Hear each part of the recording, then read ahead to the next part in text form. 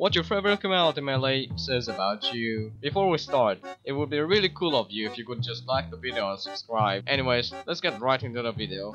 Fists, you die so much and this is the only melee you can use. Knuckle Dusters. Even though you'd be better off buying any other weapon with cash, you still decided to main this.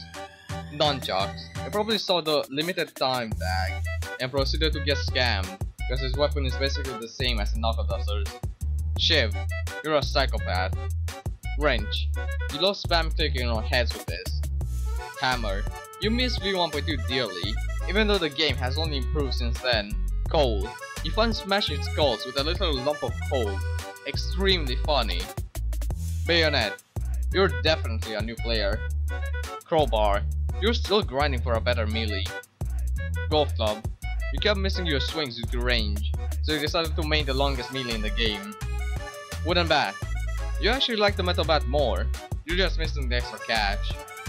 Balisong, literally everyone underestimates you, until you start stabbing that is.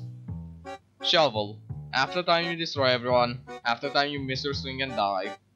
Tiger Machete, you decided to lose some green scrap and got disappointed.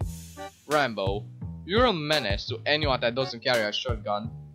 Baton, you're probably acting like a police officer before and during a fight.